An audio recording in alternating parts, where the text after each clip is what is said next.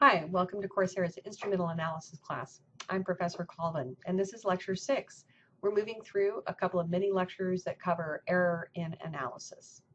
So in this lecture, we're going to be talking about explaining and defining error bars in terms of a confidence limit. So in the last module, we learned that if you just take the standard deviation of a set of replicate measurements, then you can use the standard deviation as your error bar or your plus minus description of random error. But there's something really limiting about that, and that is you can't really control how tight your error bar is. It might be that you want to give a really big error bar to be really sure that you capture all of the future measurements that might occur. Or maybe we want to give a narrower error bar.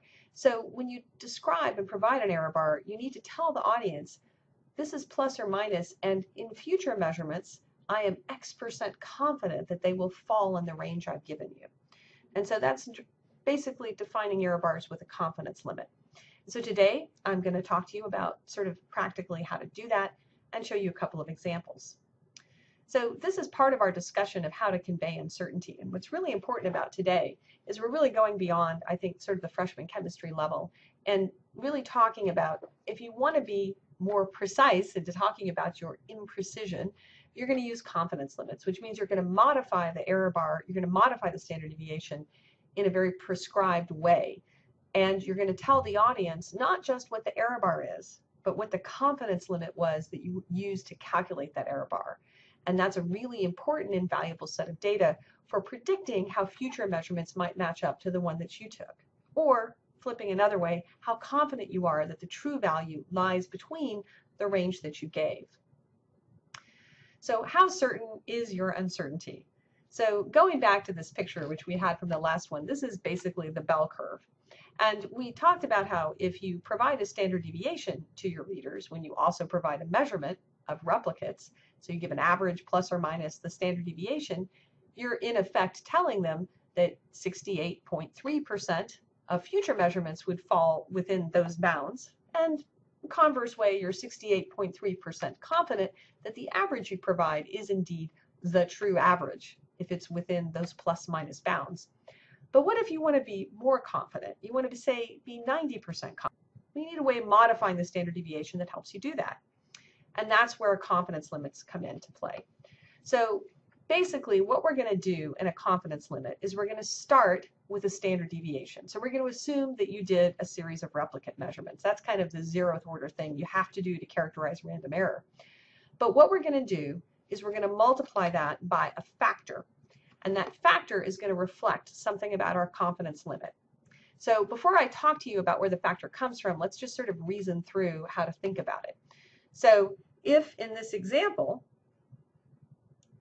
I simply gave you the answer and this was 1, well, then you're going to be 68% confident that the new measurements are in this range. And that's just the zeroth order case we had before.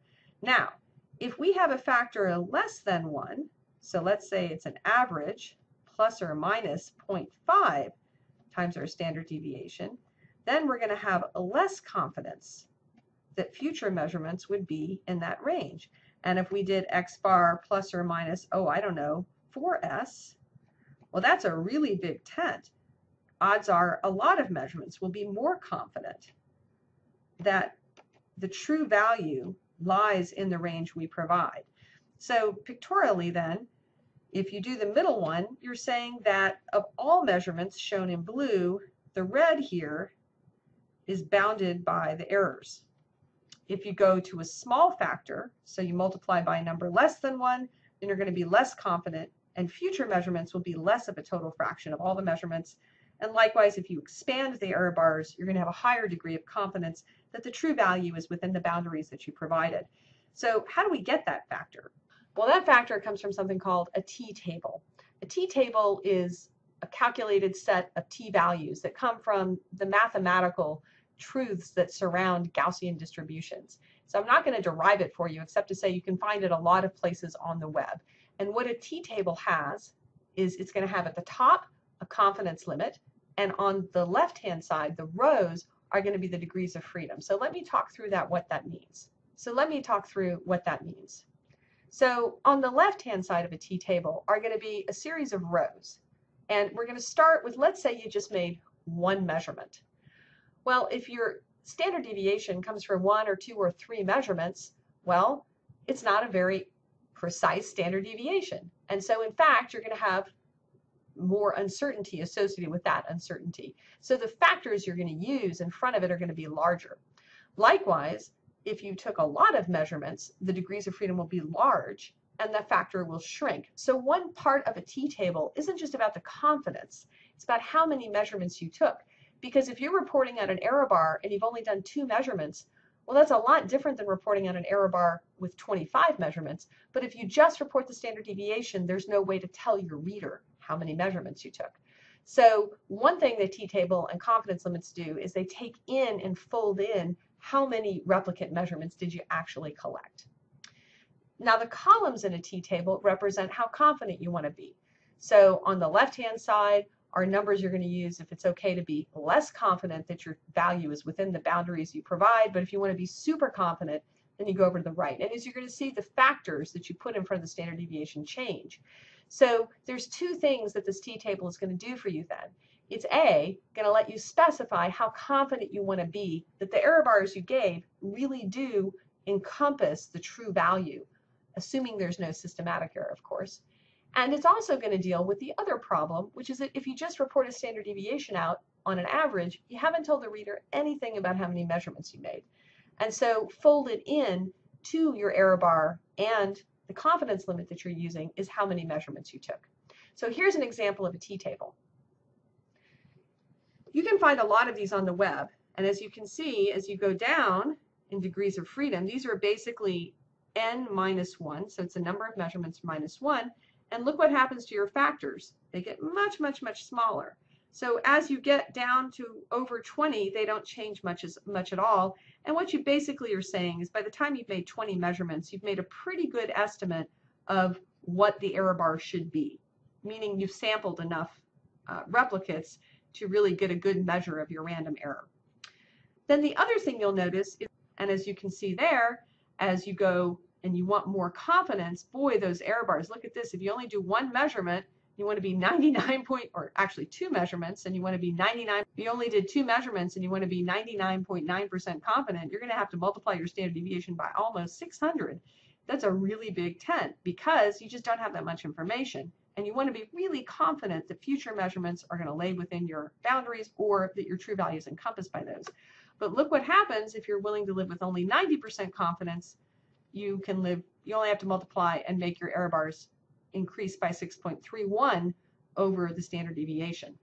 So this formula here is an important one then because it says what you have to do. You're going to modify your standard deviation by the t-value and n.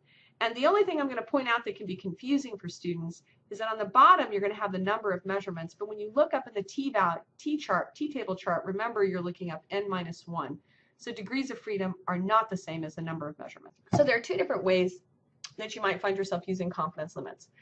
In one way, you might have an experimental set of data and you can find the standard deviation from that. And you wish to report the error bars and tell your readers what the confidence limits are on those error bars. Kind of a more higher level description of error.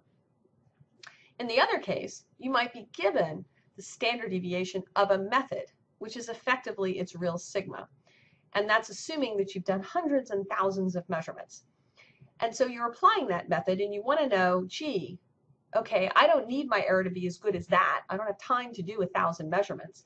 But what if I did 10? How good will I be then? So another way of using confidence limits is actually to flip and to calculate how many measurements you have to make in order to achieve a certain level of precision. Okay, so in this first example, you've got a whole bunch of measurements of zinc in capsules, and you want to find the error bars on the average value of zinc in the tables and use the t-tables to get a 95% confidence limit on that error bar. So the first thing you're going to do is calculate the average and the standard deviation. Remember the standard deviation, or S, is an important part of that formula. So to get this, you're going to just say average plus or minus t where t is the number. We're going to look this up. So you're going to look that up in the t-table. And you're just going to say, there's my average. And to get my error bars, I have to look up t and I have to divide by the square root of n. So we calculated the standard deviation to be 0.47. We went to the t table and we used a degree of freedom of 6 and a 95% confident limit, and we found a t of 2.45. And notice, whereas we used a degree of freedom of 6 on the table, we used an n of 7 in this calculation. So we have t, s, and n, and we just apply this formula to calculate what the error bar would be. And when we do that, we find that we get 0.4 milligrams of zinc, and you would say 95%. There's a couple of different ways of conveying confidence limits that I've seen. Often a vertical bar with a 95% at the bottom is common. Sometimes you might see a slightly different approach. A parenthesis that gives you the confidence limit and the number of measurements that you collected. So you'll see it reported out either way, but when you see that percentage, you know that somebody modified the standard deviation according to a t-table to give you a more precise characterization of what your error is. Let's do the reverse now. Let's do the case where you have a methodology and you want to know how many measurements do I have to make in order to get a precision that's satisfactory for me. This is a really common kind of, well, the first thing you're going to do is, like always, uh, you're going to write down the formula, which is x bar plus or minus ts over square root of n. Except in this case, what we're interested in is just the error. We took this as our error, and we set it equal to 0.42 because that's what the problem asked us. That's the error we wish to achieve. And we also know that we want 95% confidence limits on this. So if error is equal to 0.42, then we're going to have to set that error equal to t sigma over root n. So we need t, which we're going to get from the t-table, sigma, which is actually given here, and square root of n, which we don't know the answer. So n is what we're actually solving for. So when we do this then, n just goes up. Now, an important thing about how we got t. When a method gives a standard error, what that means is that the degrees of freedom is equal to infinity. In effect, NIST is telling you we did thousands of measurements, and after thousands of measurements, here's what we found. So when you're given a standard error in a method, and you're trying to calculate, okay, I'm going to use this method, what's going to happen for me, you assume that that method was taken with an infinite number of degrees of freedom. In any case, when we do this, we'll see that we only have to take two measurements to get an error under 0.42. So I hope I've given you some idea of what confidence limits are. There's a handout online, which is something that I wrote up to describe this, I hope in more detail for you, because I anticipate it may be new material for many of the chemists listening to these lectures. And we're also going to be practicing it a lot on our problem set.